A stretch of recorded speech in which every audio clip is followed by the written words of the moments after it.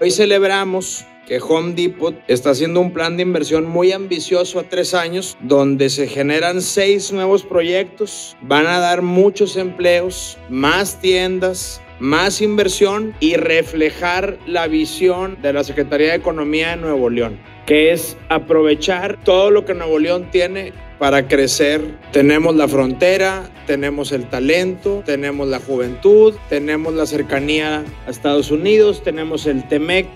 desde que iniciamos en el estado hemos invertido alrededor de 4.500 millones de pesos porque en Nuevo León contamos con el talento,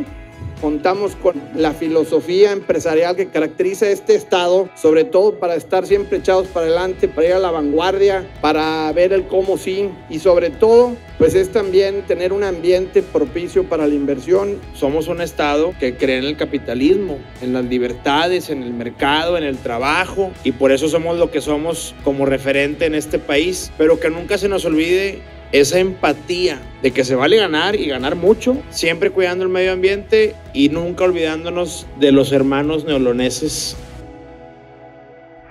El gobierno del nuevo Nuevo León.